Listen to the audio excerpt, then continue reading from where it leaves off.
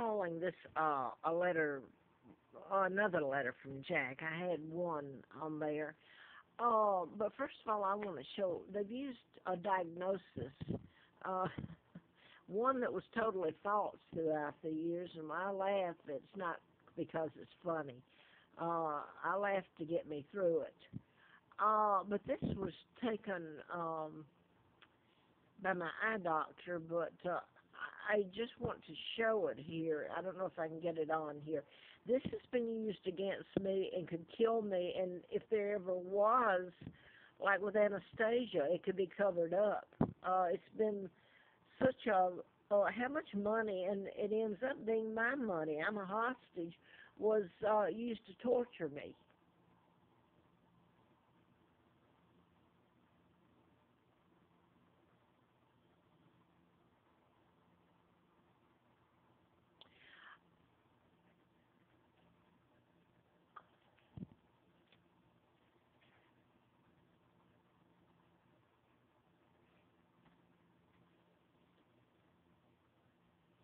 You know, I wonder, uh, when they tried to kill me back in um eighty well, more than that, but I'm just going for that right at the moment. Eighty after I'd done the book on mind control, I got the letter from the FBI and all that on June the twenty third of seventy nine.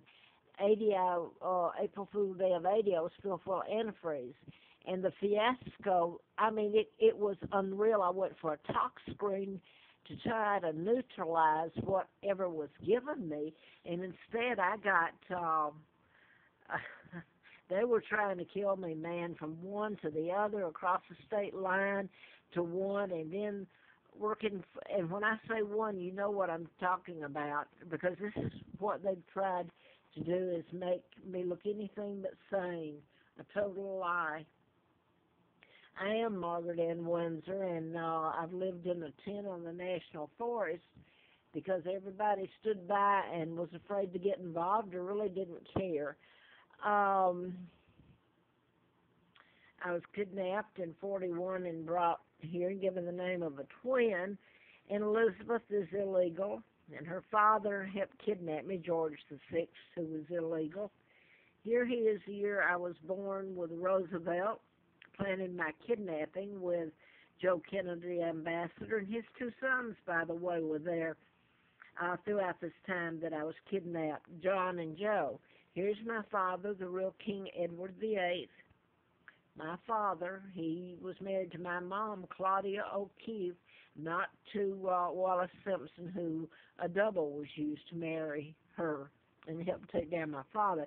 Now that I wanted to. Uh, well, I'm making a mess out of this. I wrote about mind control, but these happened later. I'm just showing this again to refresh. This was uh, the Fort Hood shooter, the psychiatrist, who, by the way, uh, finished at um, Virginia Tech, which is about 45 miles from me. I'm in Roanoke. And he was born in Vinton, uh, Roanoke, Vinton. They're in the county here. Uh, so he's really a native of here and finished got psychiatry somewhere else, uh, degree. Um, this just tells me uh, tells about me uh, being a candidate and Larry, flown to Larry Flynt's and doing the book and saying I'm Margaret Ann Windsor. Uh, I'm heir to the crown, and I am uh, Victoria II. The reason I was kidnapped by the Rockefellers, Rothschilds, member of my own family. Kennedy's, did I say, Roosevelt's? Uh, and she's living good while I've lived in a total hell. Um, when I say this is used against me, it would be shocking to see what they have done with it, okay? And everybody getting in on it really. Uh, now then, I've told about the mind control and and um, I wanted to read because in uh, after '80, when I was across the state line and had the uh, well, I'm showing my small apartment here, aren't I? Uh, Jack was the one that saved my life, and I have to remember uh one well the last time I saw Jack he had a little sign by the coffee because I'd gone through um oh near where my aunt Georgia lived and I was just finding out my real name then. Uh she lived uh over the mountain there from Santa Fe at Abiquiu, I guess is how you pronounce it, Ghost Ranch. And I was just finding out at the time about my real name. Jack was living in Santa Fe, and he had saved my life back in 1980. So I don't want to repay him by getting him in trouble telling the truth, because he told the truth. But anyway, uh, I just remember going through there, and I was kept penniless. I was driving a hustler car, and this would have been March of 1984. And I hadn't seen Larry Flynt again. I'm going through there through uh, um Santa Fe, and I didn't even know Jack's address, so I had to track him down. I called the police department because it was on the weekend. So Jack came out, and I was so glad to see him. He came out and he took me to his apartment, and he was such a gentleman. I have to say, uh, you know, to me, he's one of the nicest people I've ever met, and I hope I'm not repaying him by getting him in trouble with uh, the this letter. Um, remember, he said. he's I love coffee by the way, and he set uh, a little sign by the side of it changing attitudes. I hope I've uh, written him and talked to him over the years since then, just like I saw him yesterday. It would seem, but it's been that long. I wouldn't know him if he showed up at the door. Uh, so I hope he doesn't get mad at me here and have a change of attitude. But uh, I put the other one on. Um, the other day, and here he's the people that kidnapped me were the Rockefellers, Rothschilds, and I've said that. Um, and my own uncle helped the Roosevelts, um, Freemasons. He's talking about the. I'm everywhere with this, I guess, but uh, this camera here. Uh, I did want to put this in too about um, Timothy McVeigh said, well, his goes into the patterns, but uh, he said that the Army put a chip up him, and so he died because of the Oklahoma City bombing. And here is a picture of William, his illegal prince, and who he named his son um, George after his great grandfather that helped kidnap me, and who's the illegal monarch. But anyway, they say here that um, as a member, uh, Buckingham Palace spokesman said that William heir, well, he's not heir, not legitimate anyway, had a microchip implanted somewhere in his anatomy to discourage would-be kidnappers. Uh, you talk about the irony. His grandmother, Elizabeth, his great grandfather that he named his son after were the ones that stole the crown, lied about my dad, helped take him down, King Edward the Eighth, kidnapped me, the real monarch, who was his niece, and they're worried about his being kidnapped. I mean, come on. Uh, okay, the the Freemasons were the ones that, I mean, that's what they were would call the New World Order now and I don't know how much of this that I really there's some that uh I don't know, he's telling about back in Huntsville is where he saved my life then really uh in November of 81 he and Susan he brought Susan Boto with, I don't know if he wants me to tell this or not. He's talking about uh the mayor maybe I shouldn't and the mayor, Joe Davis, if I remember, was friends of Lina Dempsey, the woman that uh, they put me there and gave me the name of a twin when they kidnapped me. And I grew up thinking she was my mother. And when I mean, she's a horrible creature. She was trying to get Jack because he was trying to help me. She was trying to kill me to shut up the book because she's afraid it would uh people would find out my real name and about the twins and the fact she killed them.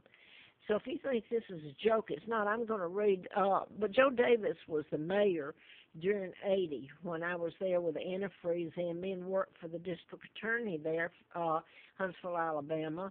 Madison County DA um, Fred Simpson. Um, but anyway, huh? I don't know. Maybe I won't say that about. He says here I always trusted Joe. He always trusted me. Odd that when I was researching a biographical data sheet on Joe much, much later, there was one very simple notation, Freemason. I want to go back up here to uh, Sal Vizzini. Now I've told this myself. You you do know Jack. Oh, this is from my God. no, this is to me. This is his. You do know Jack that Sal Vizzini was. Oh, this is what the mayor's saying to him. Um, do you know, Jack, that Sal Vizzini, the police chief, was maybe the best thing that ever happened to Huntsville? So this is Joe Davis, the mayor, who's a Freemason, it turns out.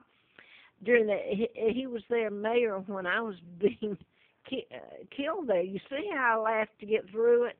There's nothing funny. It was hell on wheels. But I have to say this about Salvador Vizzini.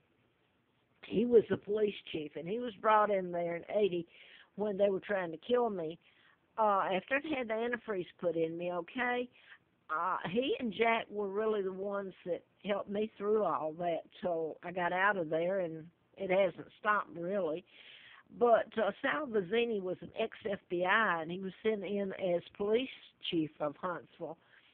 And I remember he and Lina Dempsey going to battle. The reason Lina Dempsey had anything on her side was that I was kidnapped, and the Kennedys and the people that kidnapped me and put me there, and Senator John Sparkman was a uh, U.S. senator who was he knew all about my kidnapping, and Huntsville was NASA and all the trade and treaties that came in there. And by the way, I, Lina Dempsey was with him when he died in Huntsville a few years later. Um, so that's the cover up is, you know. anyway, I don't guess you do know, but um, so anyway, Sal Vizzini, there was a book even I got. It was a thin one, not thick, back in '80, and I've forgotten the title of it about Sal being a FBI. That he, if he told the things he knew, he would be killed. So here is the one thing I wanted to say. Susan and maybe I shouldn't give her name, and I won't. Um, Susan had been, uh, well, Susan Boda. Uh, she had been a uh, professor at the University of Alabama, I believe, in sociology. When I met her, Jack introduced her to me in '80, and she was. Um, Susan was the one that had the ring that was supposed to be from another planet. Remember, this is NASA there. And, uh, what was his name now? I've lost it. See how I have this put together. Not feeling too great on top of everything else. Oh, what was his name? Oh, come on. She's supposed to testify against him. Oh, da da da da da. Well, I, I, I'm messing up. Nobody will watch this one um I can't remember who it was. Jack's got it in here, but anyway, Susan had the ring, and she was supposed to testify, and it was uh Peter Abbott against Peter Abbott, and he was under witness protection, I think, in Huntsville. But anyway, that was Susan had a lot going there too uh for her, and I had liked Susan, but anyway this is back to Susan went out to California too, near where Jack is. And what I was going to make here, when I talk about mind controlled murders and patterns, the Amy Bishop was a professor back in the late, I believe, 10 or early 11, first month of 11. Amy Bishop was uh, a professor where Susan was at the University of Alabama, and she suddenly shot three other professors dead. They locked her up, and I talked with. So this had to have been earlier in ten, uh, maybe in October or something of ten, that that happened. The murders, and I remember calling the attorney that was going to represent her, Miller, and he reminded me that he had worked for the uh, DA's office when I was there for a short time and had met me.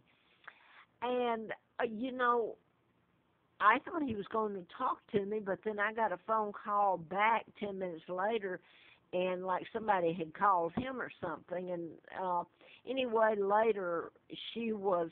um well, they said she was insane, which of course she isn't. She was under mind control. But here's talking about Susan. She moved out to, I guess, Sacramento or near Jack. And I'm sorry if I've got this all over the place here. Here I am, if you can see me. um, and I'm acting like I'm feeling good when I don't, but that's the way I get through it. Uh, but anyway, um, Jack had to, uh, not Jack, uh, Susan had two sons when I remember her in 80, and they were both younger. And so I don't know that, uh, well, Willie's dead, and that's sad, so I guess I can give his name. I just don't want to get Jack because he's written something that's truthful and uh, it really happened. It must have been covered. But uh, I'll just read what Jack says. Peter, you recall, was a federal protected witness in Huntsville who was ousted by Susan Voda, Jack, I hope you don't hate me, a.k.a. Thompson and Glenn Brooks. Susan now resides in the, com- well, she's not anymore, she's out, but here he says her son, John Thompson, now she married again, so I would think this is a stepson.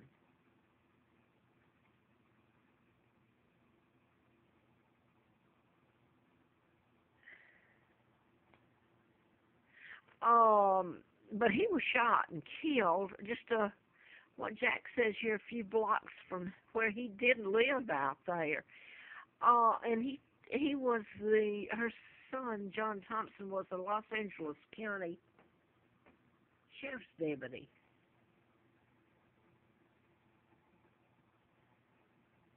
Murdered a number of years ago, not a mile from where I currently live. And anyway, he was told to keep to not mention certain names or anything, or just not get into it. You know, have any say or whatever. Not that he knew anything, but uh, in other words, it was shut up. I guess is what he meant here. Uh, if not, that's my interpretation. Don't get mad at Jack. Um, well, where was I going from there? I've messed that up, I guess. I'm, I'm hurting like heck. Uh, one of the things I did want to finish off with, I'm sure everybody's going to listen, watch this one I'm making, if you're hurting like I am right at the moment. um, oh, what's he saying back here? Oh, well, maybe not. Yeah, he is too, but there's no need. He just says down here about Larry Flynt. I guess he's still trucking along. Um, he hasn't seen him then in a while, and I don't know what I had on this page. Nothing, I guess. Um, well, I guess bear with me here. I think that's all I was going to say on that, and hope I make some sense in it. And I've left out a lot of it. I got quite a few from Jack over the years, and um, anyway, I'm going to go. It's too much, and it's not going.